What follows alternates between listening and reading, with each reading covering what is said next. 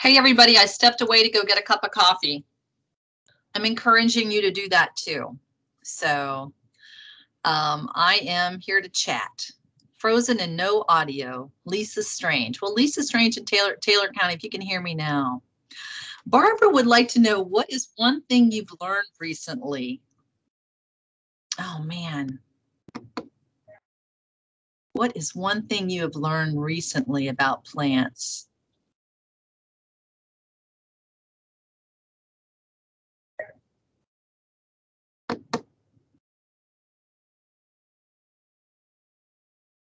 Can anyone think of something that they've learned recently? Hi, Joyce from Charlotte.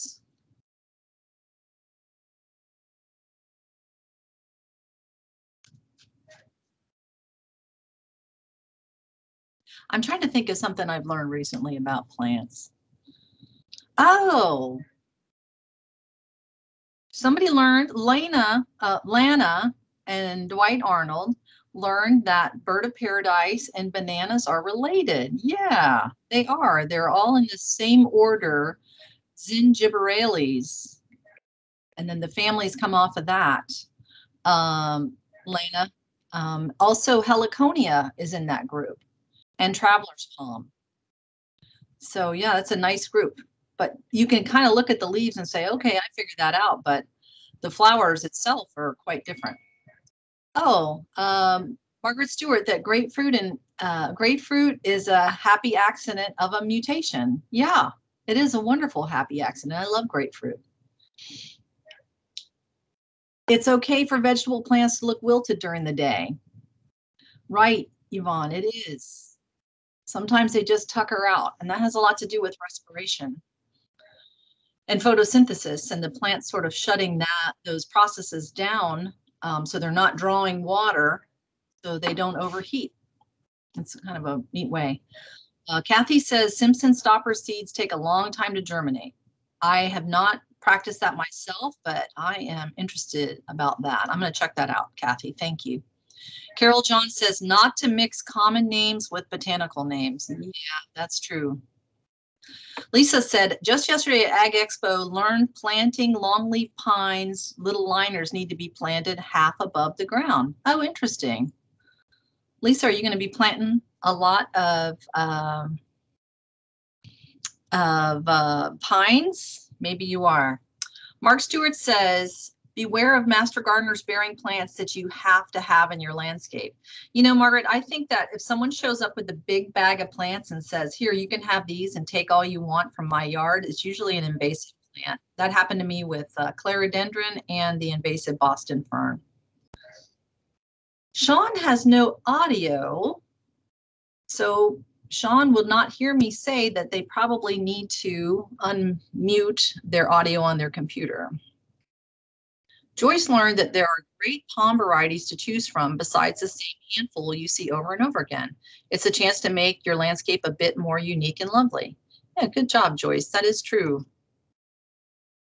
Uh, Lauren said, can you repeat how to get the GIFs and emojis? Okay, so if you want to put a GIF in the chat box, open the chat bubble up here, um, up at the top.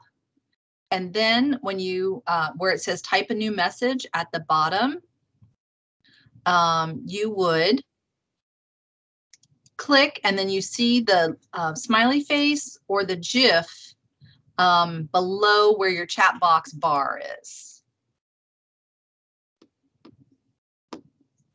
Good job, Melissa. Really good job. I like your choice there. Wilma has audio but cannot see anything. Um, you may want to check your settings um, or your screen, Wilma. Um, Barbara says if you are lacking the audio, click the three dots up at the top next to the emoji up at the top and when you click those, you can pull down and see um, device settings, and you may be able to get to your audio that way. Three dots, select device settings and deselect mic, adjust the volume. Mark Conley said he's lived in Florida for five years. I've learned that I need a sweater when the temperature goes below 60. That's of course correct, Mark, because it's freezing.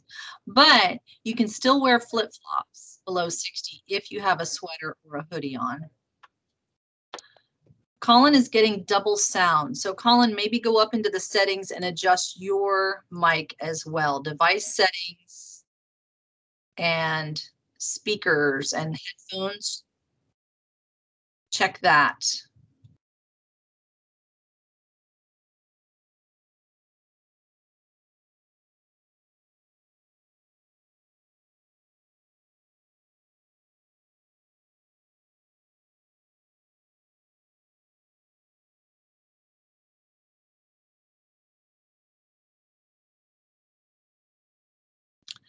Leonard Daskovitz, I'm sorry I left an S out of your name last night.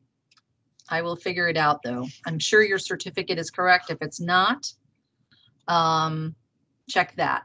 Barbara says if you have double sound and echo, you may have two devices, your camera plus desktop going at the same time. Jamie didn't realize that the separate, the chat is on a separate screen from the main screen. She left and came back and the chat screen came back too. Maybe someone has a different experience than me though.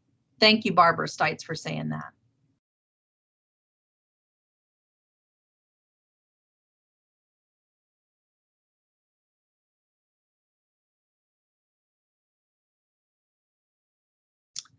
It's 9.50. Hi, Michelle.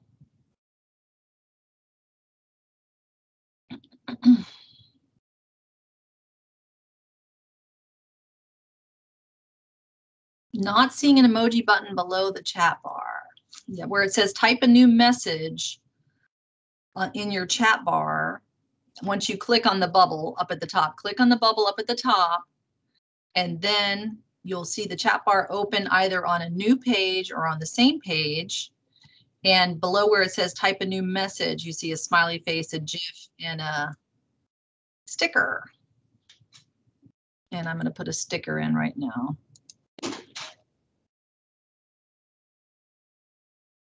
Good morning, Deborah.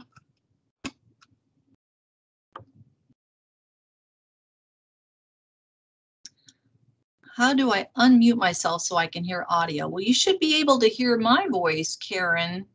So that might be on your own soundbar of your computer.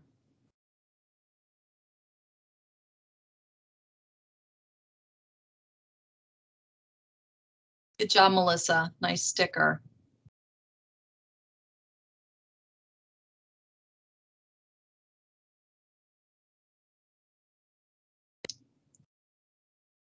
Okay, FYI, I didn't have the chat option until I connected using the app. Hmm, okay.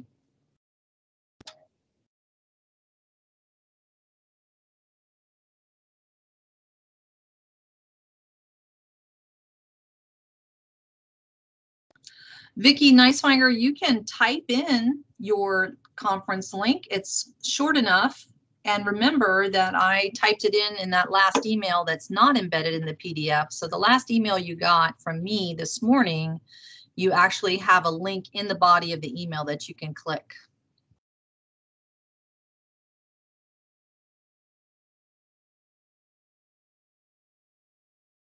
Thank you, Cedar Key, for checking in.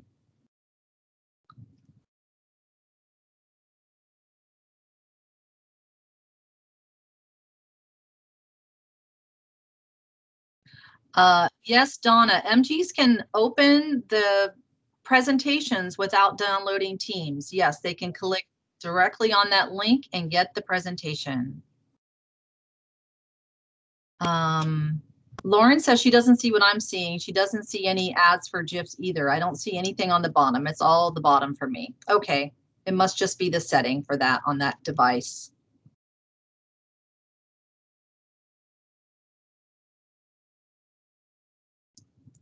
Barbara says the chat bubble uh, might hide until you move your cursor to the upper or lower levels of the screen. You may need to activate it. Mm -hmm.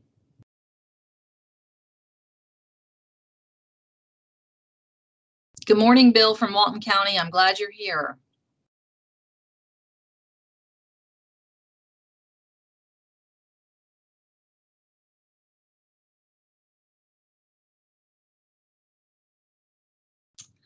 Julie Norseworthy, I see you listed as a participant on my screen. So that's good.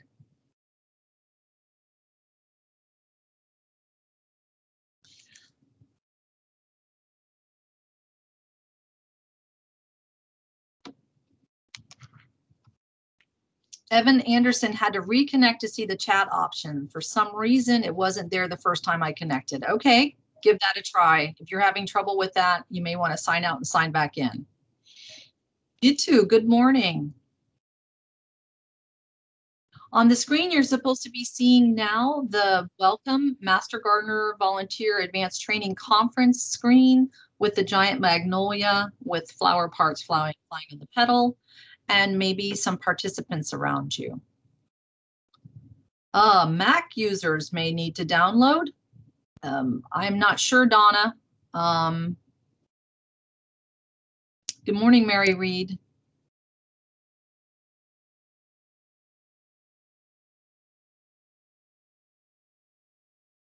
Thank you, Anne, for letting me know that.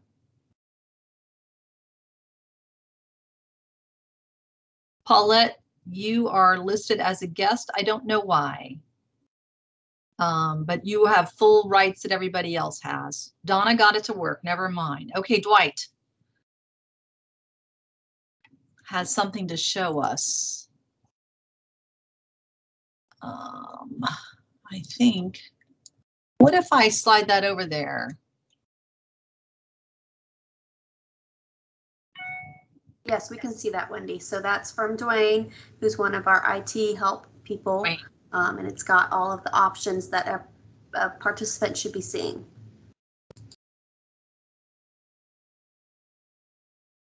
Thank you, Dwayne.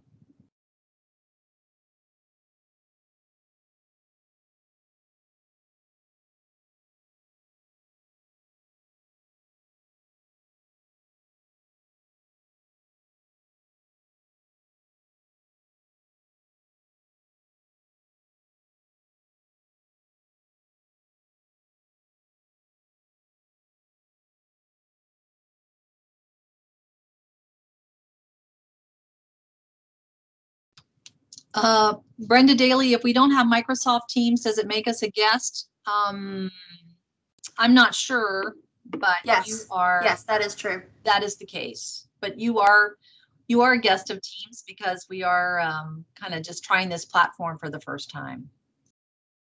Um, let me see if I can do that.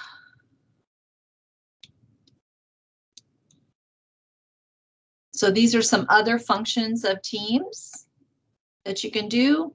Here you view, chat, and raise hands. Here you mute microphone and camera. Here you can enlarge the gallery. Here you can choose a virtual background. Here you can engage the um, live captions. And then off to the other side are laser pointer and pen and hide slide notes. So I'm going to leave that up for a few minutes.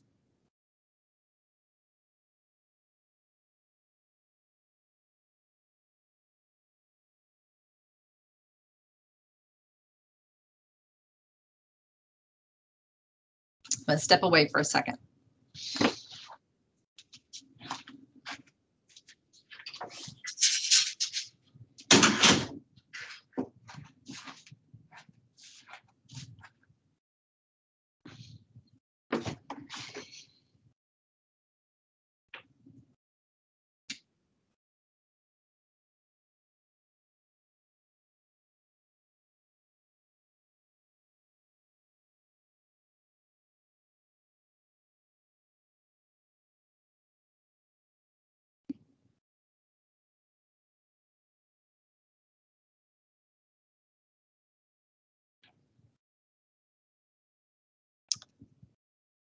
Okay.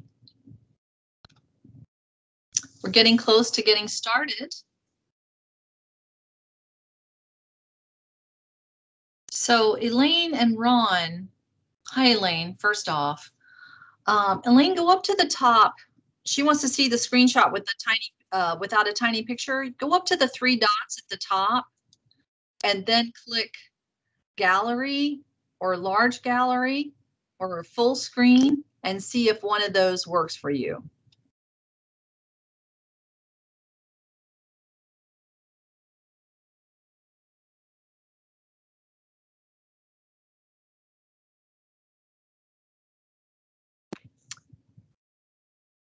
Thank you, Barbara, for bringing this out. As we prepare for these fabulous presenters, which they are going to be amazing, please remember the chat bubble would be the best topic related comments.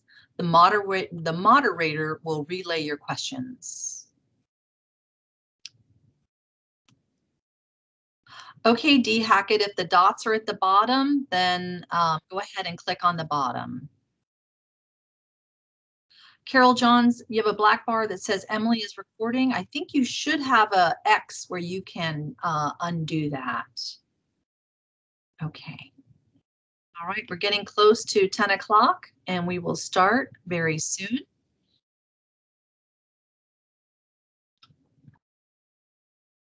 And we have over 650 people registered for this virtual Master Gardener volunteer conference. We are very excited that you all are here and um, attempting and doing this new platform with us for teams. When we went over the 500 persons mark, we had to move over to the Teams platform because we wanted to have it set up as a meeting so we could all interact and see one another's faces, etc. Um, so it's important to us that we make that connection. We didn't want it just to be a webinar where we didn't have. Um, so I'm really glad that you are all here today and that we are going to have um, have this conference unite together. I can see that we have people from all the way from the Keys, uh, from Key West to Pensacola, from Jacksonville to Naples, crisscrossing the whole state. So I am just thrilled that you are here and I am thrilled that you are investing in your education as a Master Gardener volunteer. And we are gonna um, go ahead and get started. This morning, um, we're gonna have some welcoming remarks. Then we're going to do the recap of our awards from last night.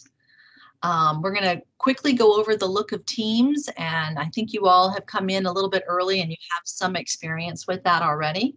Then I will introduce our keynote speaker, Abra Lee, or Abra Lee. I have to say it correctly. So the first thing I want to say to you is thank you. I want to say thank you to the conference committee.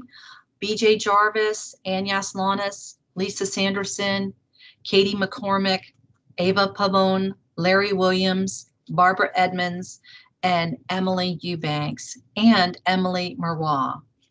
Um, I also have to say a big shout out to all of our moderators and all of our organizers. Thank you all for helping to moderate these sessions and thank you for organizing these sessions.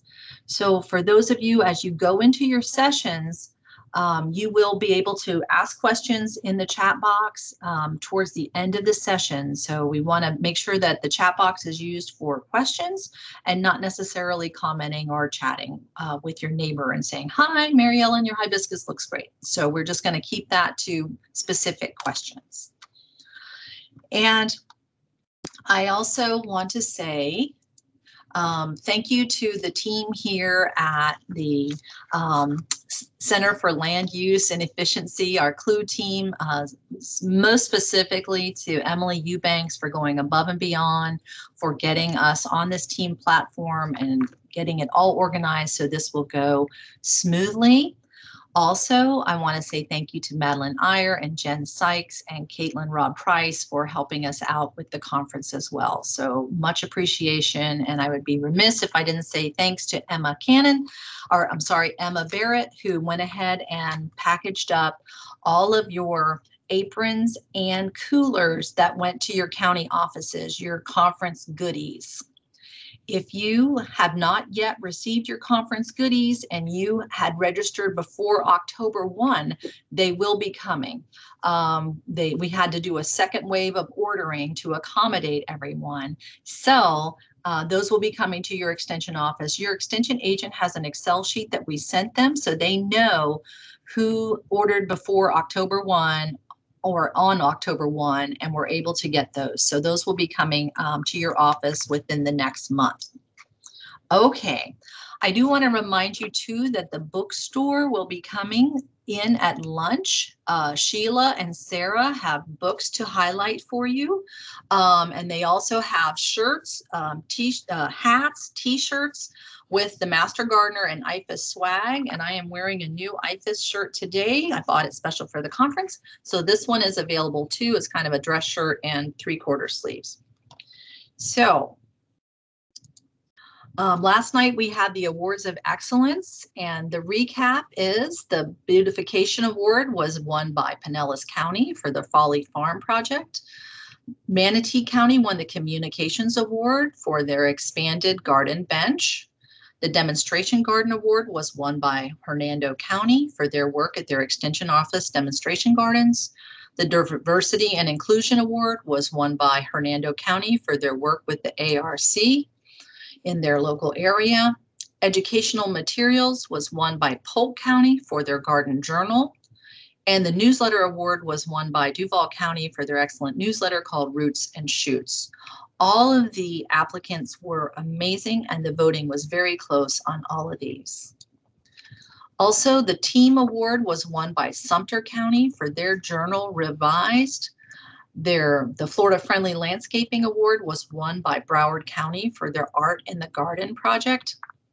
The personal communication was won by Karen Hollerman from Manatee County. And the Outstanding Master Gardener Volunteer was won by Kim Teka of Bay County. And Bay County also won the 4-H and Youth Award. So congratulations to all of our winners. The Legacy Award, which is a grant that goes out to the counties to help support local projects. Um, we had, um, I think, five or six applicants for this this year, seven actually, now that I think about it. And our winners were Franklin County, which is uh, up in Apalachicola, um, for new technical equipment to bring lectures to the people uh, in Franklin and Apalachicola. And the other $1,500 award was uh, awarded to Manatee County for their outdoor classroom at the Manatee County Extension Office. Last night, I was remiss in honoring our Flagler County uh, service winners. Uh, so we had Joy Hudson uh, got her 10 year, Jean Florio got her 10 year, Barbara Knipsis got 15 years, Ingrid Elmorsi 15 years, Catherine Wash 15 years, and Maureen Caulfield got her 20 years. So congratulations to Flagler County, and I'm sorry you were left out last night, but we made up for it this morning. All right, so this is your agenda that you all have been sent now three times, and I will send it again tomorrow morning also. Um, and here you will see that we have the horticulture contest Qualtrics form. We've already had over 50 people um, participate in the survey.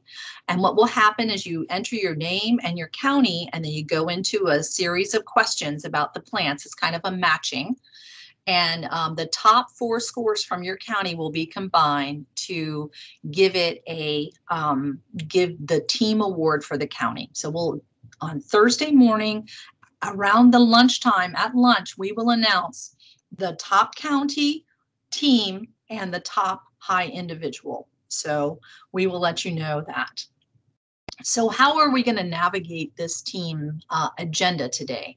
So I want you to make sure you know where this agenda is. Um, and um, you will click on, after you hear Abra Lee present today, you will click away and then you'll come and click the next session you want to see, which for me is Palms for Florida. So then I'm going to come in here and click this. If for some reason this is not live in your PDF, just go ahead and type it into your browser because it's a short enough URL that you should be able to do that or um, just try to um, click on it uh, or copy and paste it and put it into your browser. All right. Thank you for your um, time and your energy and for your patience as we navigate this. I'm just so thrilled that you all can be with us today. And think about it, y'all. We are just growing so much as we go through these virtual and digital times. Think about the amazing amount of technology growth that you have had. So I have to say thank you so much for all that you do in your counties.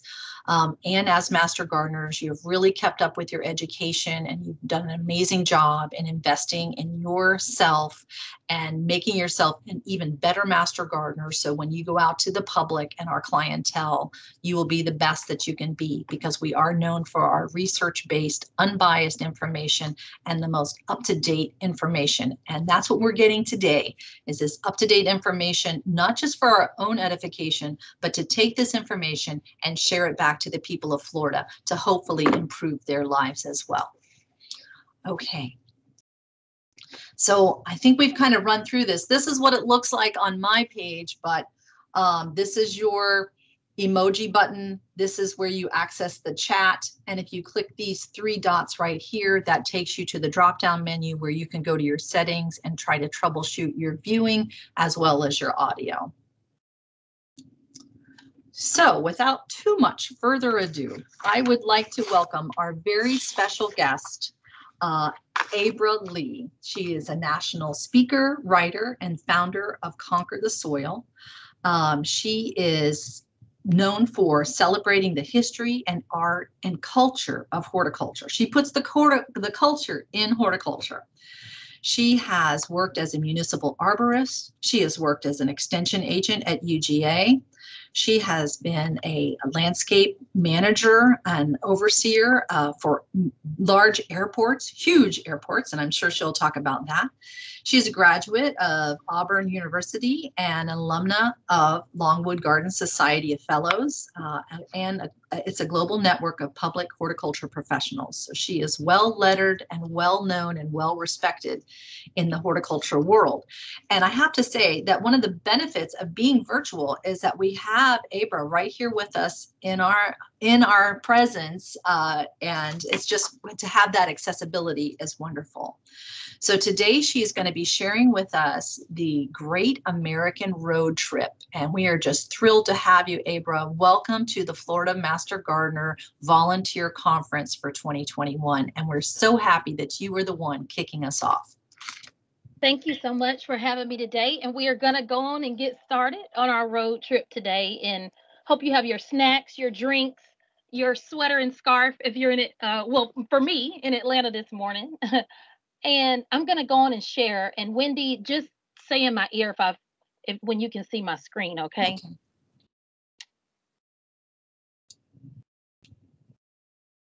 Can you see it?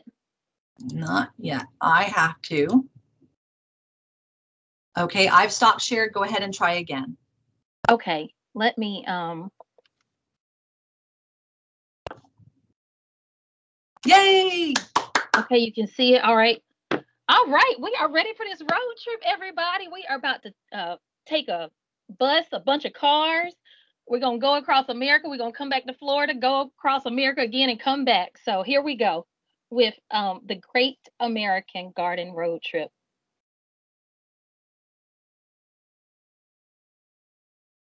Now, the first stop we're going to make is to Cascade, Montana. And some of y'all have seen this picture before. It's a pretty iconic picture. And I wanted to start things off with a bang, literally.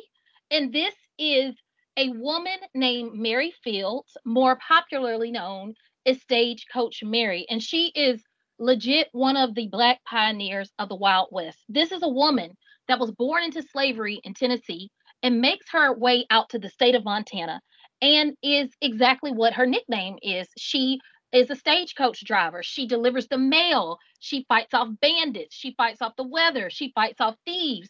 This is a woman that can make a shot within uh, 30 paces. She eats in the um, hotels there for free. She drinks in the saloons for free. She is beloved in the Cascade, Montana community, and she is one of us. She is a gardener and one of the things that she is super beloved or or is beloved to her in Cascade is the Cascade Montana baseball team. And anytime they have a game, Stagecoach Mary is there front and center. Here she is with the team, taking a picture, uh, cheering them on. And at the games, for every player, she makes a buttonhole bouquet from her garden, from her own floral garden. And she makes these five huge, um, oversized bouquets for people who hit home runs at the um, baseball game. And I just want to show you a picture of her. This isn't the greatest picture ever, but that is her sitting there in her flower garden. And I wanted to start off with a person like Stagecoach Mary because so many people in horticulture aren't do, are just doing it for the love of it.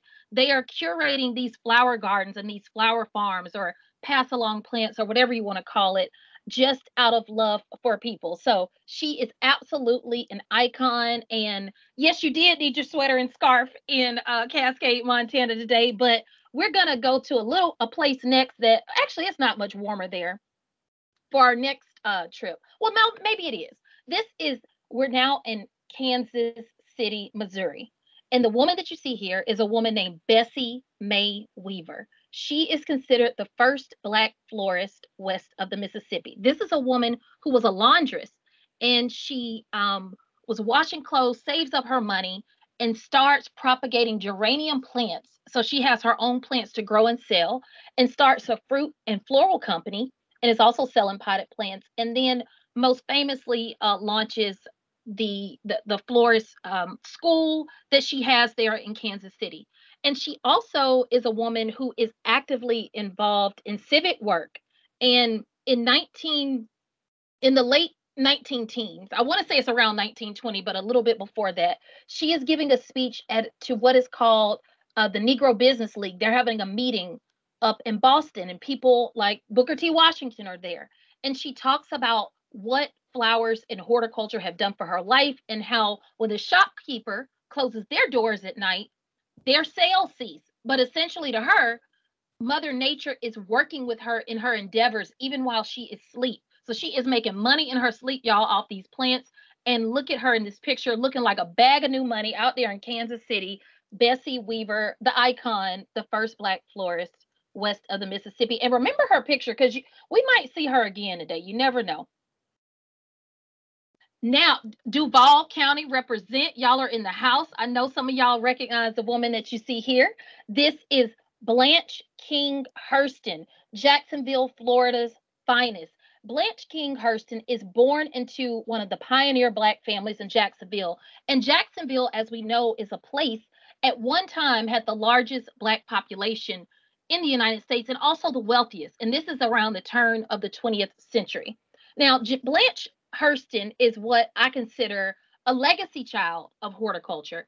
And I say that because her father, who you see on the left, this is Ed King, Edward King, was an estate gardener for the Meggs sisters. Here he is with Gerda Meggs. Um, and you can see the, um, the, the, the plants behind him in his head, uh, almost like a, an arbor that's behind him there. So Ed King is a top tier uh, estate gardener in Jacksonville, Florida. And what he also does for his daughter, uh, Blanche King Hurston, is that he runs her farm, her flower farm and nursery. This is a woman that sells plants and also runs a floral business. And she opens her shop in 1927, and it is the first uh, shop of that type to open in Jacksonville, Florida. And she is wildly successful. Here you see Blanche King Hurston on the right with her chauffeur, who is also her godson, a gentleman named Herbert Austin. Now, I keep saying the name Hurston, Jacksonville. Y'all know what time it is. Blanche King Hurston is the sister in law of Zora Neale Hurston, the Harlem Renaissance writer, icon, anthropologist, um, just Florida icon, if you will. And she is married to the older brother um, of of Zora Neale Hurston, and his name is John Hurston, also a very successful businessman in his own right. And what's amazing about uh, Zora Neale Hurston is that she also, uh, through her work in anthropology, does a lot of uh, work writing and describing Black vernacular gardens in the early 1900s at a time when a lot of people were being very dismissive and very insulting of these Black vernacular landscapes. So I want to show you a picture of the Hurston home and business. And this is um, the Hurston's home. Zora Neale Hurston lives off and on with them from her teenage years. She lives there in her 20s, 30s. She comes back. She is beloved by Blanche and John Hurston. And this is her floral shop that is down there in the right corner. And in the back, you can kind of see a, one level is a little bit higher. That's because they needed an expansion. Blanche Hurston was so busy selling her plants, working this flower farm, that she had to expand the business. Her floral shop, the Evergreen Avenue shop, which was right next door to her home. But something happens in 2013, and some of y'all this. The shop is bought, the plot of land is bought by developers and the shop is destroyed. And this is what it looks like today. This is just a picture from Google Earth. But when I was down in Jacksonville in July and earlier this year, I was down there twice. I went by there and it's still just an empty lot. And this is just 2013, y'all. So when we don't know these stories, we aren't able to protect the gems of our community. How amazing would that have been to still have this flower shop that Blanche Hurston owned? And this is a place that had wooden floors in it. This is a place that when she opened it, a, a big band orchestra came and, and hundreds of people showed up to this shop when she opened the shop. So I just want to show y'all what happens um, if we don't speak up and speak out and know what's going on uh, in our horticulture world here in our neighborhood. Now, the next place we're going to head on to is to Monticello, to Virginia. And this is a gentleman named Wormley Hughes. He is the head gardener at Monticello on Thomas Jefferson's estate. He is uh, born there, and he also is believed to have studied the horticulture work under a gentleman named Robert Bailey, who's a Scotsman who worked closely with Thomas Jefferson. So, what exactly did Wormley Hughes do in Monticello? Well, he did a heck of a lot. This is a man that felled the trees. He helped plant the famous uh, oval flower beds at Monticello. He laid out the vegetable gardens there, and he even dug Thomas Jefferson's grave. And uh, Thomas Jefferson's daughter, Ellen, was said to, or actually, it wasn't said, she wrote this down. She said that Wormley, she described him as always being armed with a spade and a hoe. And so this is a gentleman who is so much more than just an enslaved person. This is a highly skilled horticultural professional. That's really the way that we should be describing him in history moving forward, not to erase the horrors of being enslaved, but to be very real about what his talents were at Monticello. I've certainly worked on an estate and been an estate gardener, and I can tell you you're doing a, a lot, a lot of work there. So Wormley Hughes is someone I consider the godfather of all of ornamental horticulture um, for America. Now we're going head on out to Iowa, Iowa, um, the state of Iowa. And this is Sioux City, Iowa's finest. This is a gentleman named Malcolm Jerome Stubblefield. Um, his family migrates to Iowa from Tennessee. So he's born there. His parents are from the South. And he is the first Black man to graduate from his high school in Sioux City, Iowa. And he also goes on to Iowa State to earn his agriculture certificate, which we now would call the horticulture program there. And sometime um, after his graduation, a few years, he makes his way out to New York City. And in the mid 1930s, between around 1935 1938, the person that is responsible for the beautiful appearance of the New York Botanical Garden is this gentleman, Malcolm Jerome Stubblefield. He also goes on to work for the New York City Parks Department and eventually makes his way down to Washington, D.C., and just becomes an entrepreneur and runs his own businesses. And his father was also someone who deeply loved flowers. He was a postmaster there in Sioux City. And that is how I believe Malcolm Stubblefield probably got his love for horticulture from working in the garden with his own father. Now we're going to head on down, I guess, back back east to North Carolina, to Asheville, North Carolina. And this gentleman that you see here, this is the Azalea King, the Azalea King named Sylvester Owens. And he is the head gardener at the Biltmore Estate. He becomes head gardener when Chauncey Beadle, the legendary Canadian horticulturist, passes away. And Sylvester Owens starts his career out as a chauffeur for Chauncey Beadle. And he is also accompanying Mr. Beadle on these plant hunter trips throughout the South, and they are studying native plants. They're collecting them, they're propagating them, they are definitely um, studying azaleas. And this is when around the time that uh, Sylvester Owens also becomes the landscape assistant to Chauncey Beadle. And when Beadle dies, he is handpicked to take over the legacy of Biltmore Estate and Gardens. He goes on to teach classes all over North Carolina, teach um, people who come to the garden and want to learn about azaleas. And under his reign, he was determined to make it the azalea capital of the world. So this fine gentleman here, Mr. Sylvester Owen, and I do want to speak a little bit uh, to colorism here on this slide before I go. Uh, Sylvester Owen um, even has said himself that he was able to uh, likely drive around with Mr. Beadle because he's so fair skinned, white passing black gentleman. And this is a gentleman, even when he checked into the hotel rooms, he would have to ask for the black rooms because people didn't even realize that. And he lived his life as a black man. But colorism does come into play. And we'll show it one more time um, where it comes into play, not to the person's benefit as it did as it did in the case of Sylvester Owen, but probably to the non-benefit of their legacy. But I think that we can all change that. Now, I want to talk about how horticulture, uh, agriculture, gardening, plants, arboriculture is so expansive. And it's not just the people who are outside physically doing the work, it's also literature and art. And the woman that you see here is a woman named Effie Lee Newsome. She is a writer, a Harlem Renaissance writer, a librarian, a teacher, and she writes for the Crisis magazine, which is the official magazine of the NAACP. And the editor is a gentleman, a famous gentleman we all know named W.E.B. Du Bois. And she specifically writes for the children's pages of this magazine as she is a children's librarian. Now, one of the things that she does is write a lot of poetry. And she's writing this poetry to children, Black children, during the Jim Crow era in the United States. And this is one of her more, more famous poems. It's uh, called The Bronze Legacy. And I just highlighted a few words here, but what she is doing here is that she is using nature to describe the hues of nature, the browns, the bronzes, the golds, these beautiful bold colors, and describing it to the skin of these Black children and letting them know we're in the Jim Crow era, times are tough, and regardless of what people say and think about you, you are beautiful. It is a noble gift to be brown.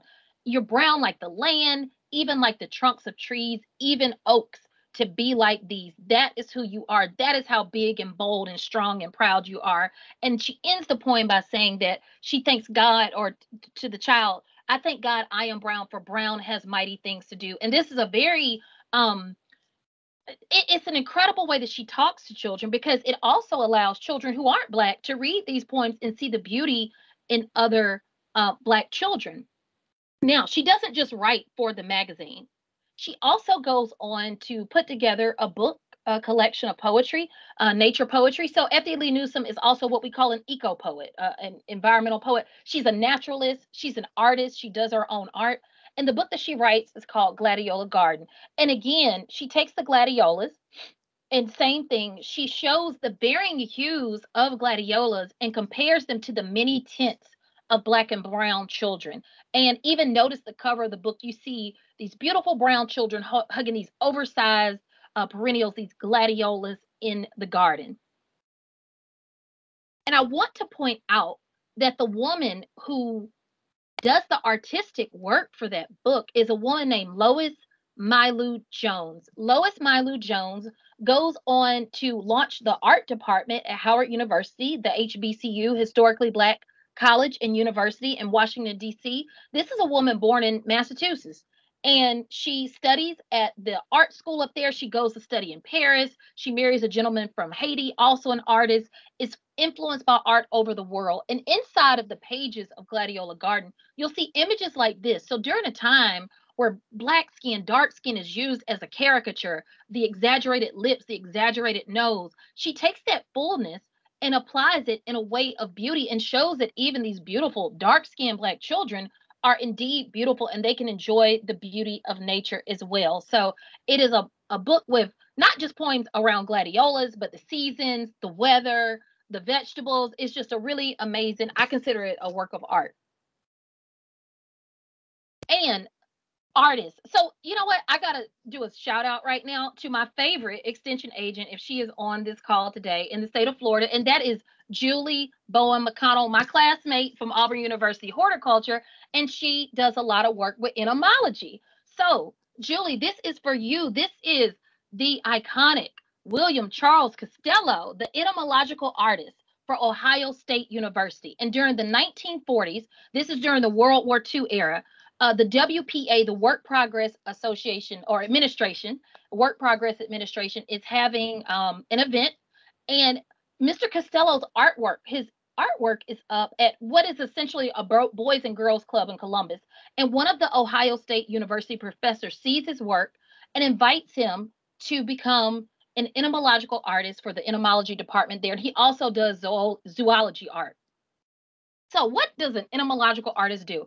Well, he is the person that looks in the microscope and draws these detailed drawings of the insects um, by hand. And this is some of his work. The, the picture that you see on the right, his niece sent to me. This man drew tens of thousands of entomological charts. And this is one of the charts that he drew at Ohio State. And when he was asked about his work, why is entomology even important to look at these bug pictures, which we know they're called insects? And Mr. Costello replies that it's just like the war. The same way that the soldiers are taught to look at enemy planes versus friendly fire, that is the way I teach people to look at insects, whether it is a beneficial or non beneficial insect. So, who knew? Yes, we can all uh, expand our thinking on what careers in horticulture can be. And that's just my alarm. Let me know it's 1030. I got about 15 more minutes. So we're doing pretty good on time. And I'm going to go to the next slide. And while I do that, I'm going to cut this off. So we're headed from Ohio, Columbus, Ohio. We're going to head up to Harlem. We've been there a little bit earlier today with Effie Lee Newsome, the Harlem Renaissance writer. And really, she spent most of her time in Ohio and also Alabama. But this beautiful, lovely person that you see here, this is Lucille Kane from Lucille's House of Flowers. Now, she was the only Black florist um, artist at the Metropolitan uh, Floral Association event in the 1940s, and she wins a prize for most originality for creating this beautiful hat with 300 orchids and 15 baby orchids at the top. And I love this hat because it just shows, again, that just the artistry that can be done with plants. And we're going to see a little bit of this artistry again, not from her, but from other people. So Lucille Kane in Harlem marries into the floral business, but then goes on to make it her own and just her use of creativity, her liveliness, her glow. She is, she's everything, y'all. She is everything. So we're going to stay in Harlem, and there's a reason for that. In the early 1900s, when when black performers wanted to get on and make it um, to Broadway, to Hollywood, they would be outside of the Lafayette Theater in Harlem, or maybe Lafayette, but roll with me, y'all. One of the ways to say it, Lafayette, Lafayette. And they would gather out there, and you can see the big crowd outside of this theater. And specifically, they would gather under a tree. And they called this tree the Tree of Hope because they hoped that they would get picked for performances. And the tree was believed to have special powers and brought people good luck. They would pull off the leaves, they would touch the bark. We know we're not supposed to treat our plants like that. But again, this was a very, very special tree. And people were just putting it all on the line, doing their performances, hoping that this was their day. But the city of New York comes along and cuts this tree down and says, you know what? The tree is past its prime. We're cutting it down. And the people in Harlem are devastated. This tree is iconic. And the picture you see on the right are the little boys gathered around this tree. Now, a gentleman named Ralph Cooper. It's kind of funny. They call him Dark Gable instead of Clark Gable because he's this suave black man. Uh, takes a piece of this tree once it's been cut up and says, I'm going to take a piece of this tree trunk and I am going to have someone mount it stage right. Maybe it's stage left. I can't remember because I'm not a performer. And this is the tree trunk that you see today. If you've ever seen in a TV performance um, uh, of the Apollo Theater, this is the tree trunk that you see, the tree of hope. So, not just people can be legends in horticulture, it can also be the plants. And any performer that takes that uh, stage of the Apollo is uh, what you do is that you rub the trunk of that tree for good luck because it has brought good luck to so many people, like James Brown, like Gladys Knight, like Beyonce herself, all these people who came before and performed at the uh, Apollo Theater. Now we're going to uh, take the train on down from New York to DC. And these are the floral vendors. This is 1870s Washington, D.C. These are the Black women who came in from Virginia on horse and buggy, brought their plants in to sell in front of the Potomac River. This is a mobile nursery, y'all. You can see the potted plants there. You can see the cut flowers they have there. You can see the community that they have built around each other there. And this is only just a short five years after slavery has ended officially in the United States of America. And you can see that these women are self employed, independent, and are the reason that people come into downtown DC to purchase these flowers is to come and see them because they have the best product and the most beautiful plants available. Now, a little bit north of DC, or maybe it's northeast Baltimore. And this gentleman that you see here is a grainy little picture, but it's a great story. This is 1920. And this is a gentleman named Thomas Queen. He is born into slavery in the uh, state of Maryland, and he one day he uh, sees someone throw some geraniums in an ash can, and he decides to bring those geraniums back to life. And it's from that day forward he is committed to horticulture and decides this is the career I want to pursue. He ends up being a, an, estate gardener at the State House, which is the governor's mansion, essentially in Maryland. And this is a picture of him in his greenhouse where he sells and ships flowers from Baltimore to Annapolis at the age of 86 years old. So that's why I want to highlight him. It is never too late to start your amazing nursery. Now, I'm not saying he started at 86, but he's certainly still working there at 86. So we can all live our dreams. We can all live the fabulous life that Thomas Queen did as well up there in Maryland. Now, I want to talk. I love trees. I, I absolutely do. And this gentleman we're up in Pennsylvania now. In um, specifically, um, this gentleman. Let me just give you a little backstory. He's born uh, in Wilmington, Delaware. Goes to school there, and when he goes to college, he goes to what is the Pennsylvania Forestry Academy, which is now known as Penn State Mont Alto. He is one of 13 students in his class, and only six make it out. And this gentleman is named Ralph Elwood Brock. He is the first Black forester in the United States of America, and he runs the tree nursery there at Penn State Mont Alto for a few years. There's a plaque there today telling his story. And he also goes on to own his own nursery, run his own landscape company, and stays in the horticulture uh, gardening business throughout the rest of his life. And this is now this is his picture from when he's pretty much a freshman in college. So he didn't look this young his whole life, but this is a great picture of him when he first starts out his career in horticulture. So, Titusville, Florida, if y'all are in the building, y'all also represent, I think that's Brevard County. And many of y'all know this gentleman's face, but you you I can't I, I, told someone the other day, you know, I wouldn't go to Texas and not mention Beyonce. So I'm not gonna come to Florida and not mention the iconic William Henry Maxwell. Born into the state of Georgia, uh, he's a toddler when slavery ends. And in 1894, and, and, and in between this time, he moves down to Florida, to the great state of Florida. He purchases a small grove and begins to cultivate oranges. And by 1936, Mr. Maxwell owns 30 acres, and it is said that he is uh, he controlled over 200 acres in his lifetime. His uh, financial worth of all of his orange and citrus groves was $250,000. And if we equate that to the spending power of what we had then of today, that is $5 million in purchasing power that Mr. William Henry Maxwell, self made orange citrus millionaire, 10, all close to 10 figures, he's at five, uh, does down in Brevard County. We had to come back to Florida to get warm, y'all. It was getting a little chilly up north.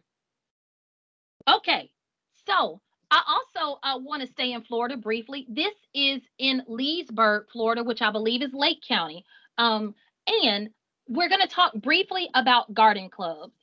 Now, garden clubs were mentioned, black garden clubs uh, were mentioned in the state of Florida as early as the 1920s. And this is a woman who wins first place prize for the best Christmas tree in Leesburg, Florida, um, with her her black garden club. And this is around, I think, the 1940s, 50s. However, there's also garden clubs, and these women aren't doing just frivolous beautification work. They are also civically and actively engaged, and they're all over the country. These women are in uh, Milwaukee, Wisconsin. This is the Town and Country Garden Club, and the lady that you see to the left is a woman named Mrs. William Roberson. She is looking at her plaque with the lady on the right um, with the hat on. Her name is Mrs. Ardie Halyard. I'm talking about the green picture. And Mrs. William Roberson has won 11 ribbons at the Wisconsin State Fair. That is a big old deal to win 11 ri- ribbons for your plants and your horticultural specimens at the Wisconsin State Fair. And this is the type of work these garden club women were doing. The woman on the right in the purple is just a visitor to one of their shows, but it is intense, y'all. Look at how intensely she's looking at these plants. So it's a big deal. But the most famous garden clubs of them all is in the state of Virginia. And no, this background is not Virginia, but it's a road trip, y'all. It's imaginary. It's fun. We're just going to roll with it, okay? So this is Mr. Asa Sims. He is a student at Hampton University, goes there to be an artist, but ends up taking a job in the greenhouse as part of his work study program. And he realizes I don't have to paint my pictures, I can plant them with flowers. And he goes on to do beautification and horticultural work, teaching classes throughout the states of Virginia and North Carolina. Now, Asa Sims, this is him. I pointed the arrow to his head. This is him with one of his classes. Asa Sims didn't believe in PowerPoint, y'all. He was going to bring you a 3D model to your face. And this is him sitting down at his um, table here, and he has brought a 3D model of what a balanced landscape will look like with the house and the shrubs. And if you zoom in, you can really see that, and you can see how attentive his classrooms are. He is taking this work out into the community, and he partners with people. Specifically, the woman that you see in the middle. This is Ethel Early Clark. She is the first president of what is called back then the Negro Garden Club of Virginia. It is launched in 1932, and they have three goals there.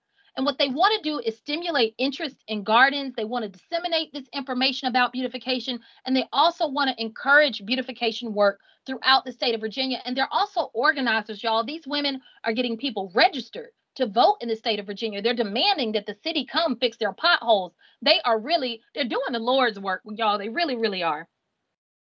And this gentleman is a colleague of Asa Sims. His name is Dr. H. Hamilton Williams, also a graduate of Hampton, goes down to teach at North Carolina A&T. So we're still in Virginia. He goes to North Carolina briefly, then goes to New York and earns his PhD from Cornell University. And he is the first uh, person, uh, first academic to study Black landscapes in detail and writes about them. And though he is critical, his observations are very, very acute. And he talks about how there's hardly any Black landscapes without tires edging the borders of the flower beds, without herbs growing in tin cans. And he also with Asa Sims. He is the editor. H. Hamilton Williams is the ed- Dr. H. Hamilton Williams is the editor of the Handbook of the Negro Garden Club of Virginia. This is passed out on their 10th anniversary in 1942. So they started out with seven clubs with Ethel Early Clark as president, and in 10 years they have close to 100. And then years after that, there are thousands of clubs of Black women all over America, and some of which you saw today down in Florida, up in uh, Wisconsin, and of course throughout Virginia. April 22nd, 2022, Earth Day of next year is the 90th anniversary of these women's forming their club. So we have to remember to acknowledge them and think of them on that day. Now, I'm going to bring it on home. I got about five minutes left, so I'm going to try to be super quick. The gentleman that you see on the left is a gentleman named William Lanier Hunt. Some of y'all know him as Bill Hunt, the North Carolinian uh, horticulturist extraordinaire. And uh, Bill Hunt is uh, specifically a, a, white gentleman. He's the only one in the slideshow today, but he says something quite interesting. He he gives a lecture on this about how it was the formerly enslaved people after the Civil War that went back into the antebellum homes and saved all these antebellum and heirloom plants that we know and love today because the properties had been abandoned after the war. And he, in my mind, was referencing people like the ones that you see here at Magnolia Gardens and Plantation in Charleston, South Carolina. A little bit warmer down here in Charleston, or up uh, across in Charleston for me from Atlanta. And we talked about colorism earlier, and I think about people like this woman named Aunt Phoebe. And I say ain't in air quotes because this is a woman, an older black woman who is enslaved at the property at one point and is now considered a tour guide there. The war is over, but the Drayton family that owns the property brings back people like uh, Aunt Phoebe, in air quotes, to maintain the land because they're the ones that laid it out in the first place. And so she's pointing out the azalea, she's pointing out the Carolina jessamine, she's pointing out the iris. And this is not the work of a tour guide, y'all. This is the work of a plants woman. But sometimes it's hard for people to look back in history and look at this woman as an expert plants woman. Why? A few reasons why. Because she's dark skinned, because she's wearing the mammy attire. That was a popular attire. People would have their servants dress in in the early 1900s, their black servants. And so these reasons like this, we have to look at how colorism and the uniform that you wear can come into play when people are thinking about how valid your horticultural knowledge is. And I can tell you, I was able to go to Auburn and earn my horticulture degree because the privilege of my parents having the financial ability to do that. I'm certain Miss Phoebe here can run circles around my horticultural knowledge. So she is the true subject matter expert, not me. Now we're going to stay in South Carolina. And I said five minutes, but give me five more. I promise you we're almost to the end. And this is a woman named Mrs. Annie Mae Van Reed. Now, Aunt Mrs. Annie Mae Van Reed, unlike Aunt Phoebe in air quotes, she puts it on her sign. You can see in the background, it's a little glowy, Mrs. Annie M. Reed Florist. And she owns a five acre nursery and greenhouse in Darlington, South Carolina, which is a little north of Bishopville, uh, South Carolina, made famous by Pearl Fryar. Now, this is some of Mrs. Reed's stationery. This is a woman who has since 1924 was sending plants from Darlington all up and down the East Coast all the way north to places like Boston. She speaks to young Black women, encourages them to open up their own businesses. She acknowledges that even if you're a woman that is uh, doing um, homework, stay, a stay at home mom, a, a job like that is still an essential job, and just to do it to the best of your ability that you can. Now, Mrs. Annie Mae Van Reed said, Blanche King Hurston, yeah, you might have had that chauffeur, but I have me a 1940 Ford Ford floral delivery and greenhouse van. And yes, she is here posing, giving it to us, letting us know what a boss that she is up there in South Carolina, running this nursery. And uh, essentially, she's also what would be in today's money a self made millionaire. Briefly, I want to speak about Tuskegee University. There were women there, like um, these young women that you see here, uh, doing work at the campus, doing beautification and floriculture work. And the person that encouraged this work was the woman that you see in the corner. This is Mrs. Margaret Murray Washington, the third wife of Booker T. Washington. And she is someone who uh, is teaching this curriculum to them. And it is based on a curriculum that Booker T. Washington observed when he saw women students um, learning landscape and beautification work at a school called Swanley College in England in the early 1900s. And this is a time it's not popular for any woman, let alone black woman, to be outside doing this level of work. But these are the, the people that do the beautification and the installation of plants to install around Tuskegee University, the HBCU, right down the road from Auburn in Alabama. And Tuskegee also produces people like David August Williston, who is the first Black landscape architect. He's a graduate of Cornell. Liberty Hyde Bailey is his professor, and he goes on to lay out the Tuskegee campus. He lays out Fisk University, part of Florida A&M University, and also part of Howard University in Washington, D.C. He's a landscape architect and works well into his 90s in that trade. Now we are ending our road trip. We are going to bring it back home. Dade County, I didn't forget about you down there in Miami because I know people think, at least people in Georgia think the South End's at Jacksonville. We think Orlando and everything else is like Florida. It's Southern geography, but maybe not Southern Southern. But this gentleman here, Mr. William O. Perry, he is a florist in Miami, Florida, Bahamian American of Bahamian descent, and is d- incredibly successful and wants to get his plants shipped across the United States, his floral um, bouquets. And he has a problem.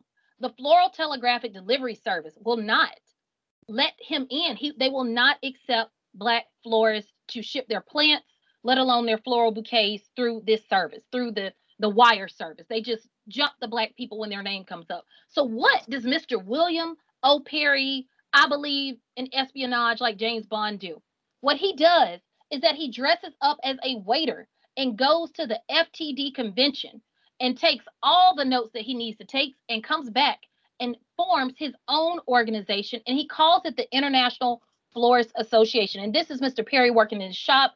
And this is him working at his table, plotting, strategizing, making sure that he and other Black florists are able to form. He forms this in 1953 to get their plants and their flowers and their goods across the United States. And he says, FTD, I don't need you. I got it. I went in there and spied on you. I got my notes here. Let's do it. And he does it. So the very first convention is held in Miami, Florida, as I mentioned in 1953. Now, I wanted to show you this quick floral art. This is by a woman named Teresa Hubert, who is a Black florist there.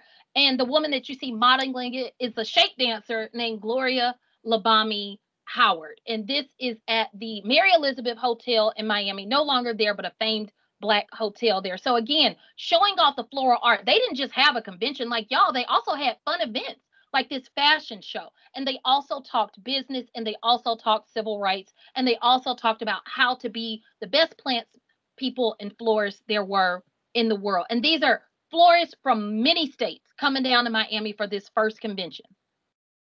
Now, the fourth convention is happening uh, in um, Cleveland in 1956. And before I say that, I just wanted to show you in this top left corner, this is a gathering of some of the people uh, Mr. William O. Perry is on the far left front row. And these women that you see, many of them names I know, but they are all women who went on and men who went on to just be uh, wildly successful in their hometowns. And this is Mr. O. Perry getting an award from the Carnation Growers Association. And as you see the headlines in the paper, they're not just, it's not all about flowers to them. They're actually doing work to combat prejudice in the United States of America. And at that 1956 convention, so we've left Miami, gone back to Cleveland. Mr. Perry is still in charge, Florida Finest, and they decide that they want to give a woman her flowers. She is the mother. She is the one that is top tier at this convention. She is the one that everyone kisses her ring. They all show her respect. And this is Bessie Weaver, the first Black florist west of the Mississippi on the left is 1956. She's looking like old money, y'all. 40 years into the game, the early 1900s. That is Bessie Weaver in her um, early 20s doing the floral work. So we've reached our stop. Our road trip is over. What a ride. Thank y'all so much for joining me today. I hope that you had as much fun as I did. And if you know a story I should tell, this is how you can reach me. My name is Abra Lee. Thank you so much, Wendy. Thank you, Walter Reeves of Georgia Gardener, for referring me to Wendy. I know he's not here today. And also thank you to Emily uh, Eubanks for getting me through this this Microsoft Teams, y'all. It was making me nervous. And of course, sending my big, big love to Julie Bowen McConnell, my Auburn classmate. So I appreciate y'all and I wish y'all a very wonderful day. Wendy, I want to make sure I don't do something weird here. So walk me through it so I don't um, mess it up um hit the you have right? done just fine. There's Okay. no no no messing up to do. Well um, you can leave this screen on. Uh, we have a couple of uh, questions but mostly rave reviews and everyone loving your presentation in the chat box. So thank you abra for being with us and enlightening us and um, letting us know what we don't know which is really, I think, as curious horticulturalists, we're just so thrilled to get this information. Uh, Dan Anton uh, wanted to know if it would be possible to get a list of the people that you um, brought up today.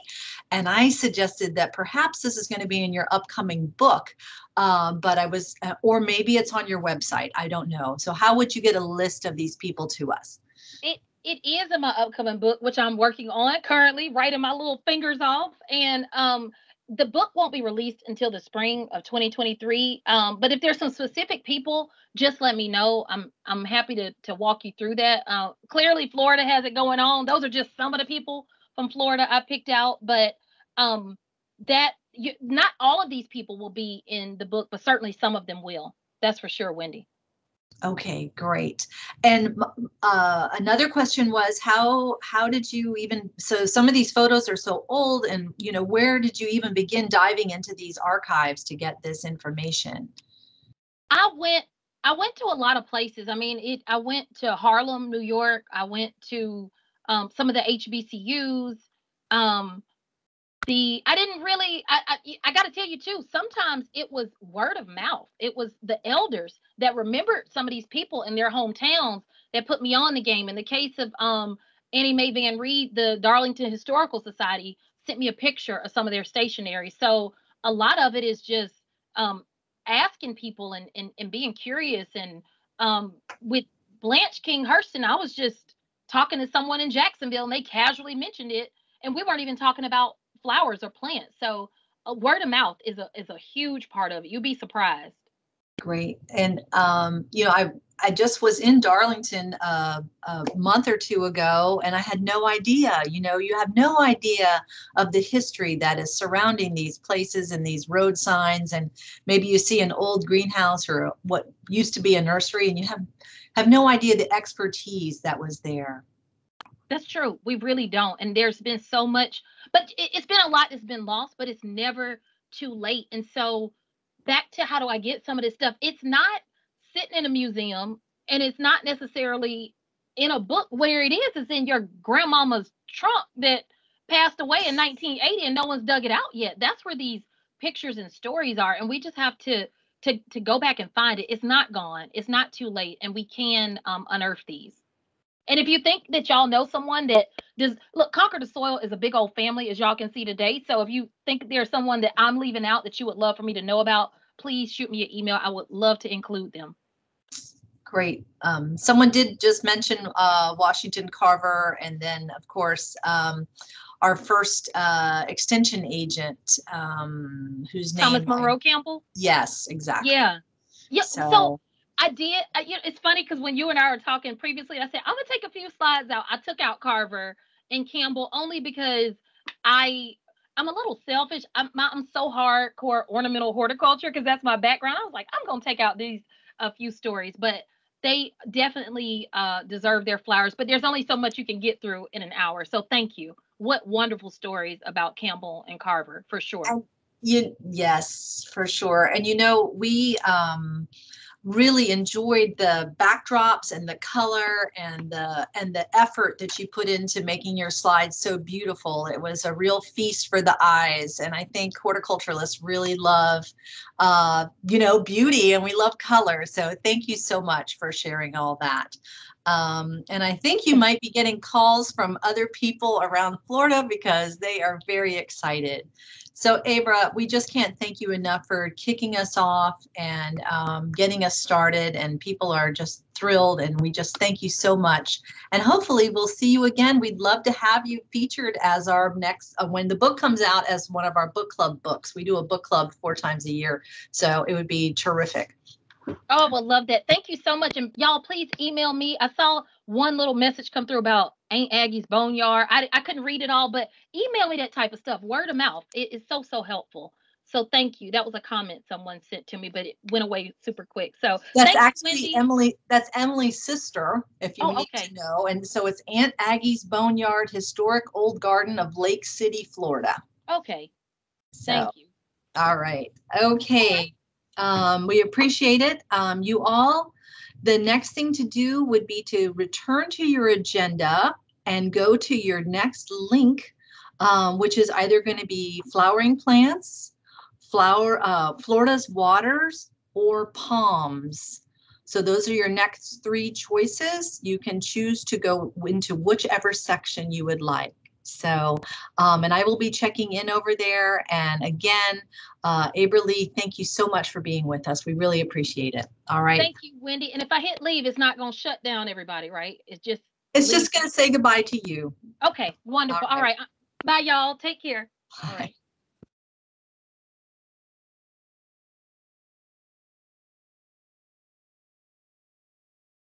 Okay, so the question here was, uh, we have, um, yes, we were able to share the positive comments with Abra and she will be able to see a recording so she can know. Um, also, um, the, your link should work for your next ses- sessions, sorry. Um, and, um, if you need to actually read the link from the PDF and copy it and put it into your URL, your box up at the top, you may have to do that. Um, you have received the links in the um, emails that I sent you. Um, I sent you the conference agenda Monday, Tuesday, and this morning at 8:15. So check your emails from 8:15 this morning. You'll see one from my name. And um, yes, you do log out first. We log out of this and we log back into our next session. Okay. No need to log out, just push the leave button and then you join your next session from there. Thank you. Thank you, Dwayne. All right, so head on over to your next session. They should be opening. If they're not already open, they should be there very soon.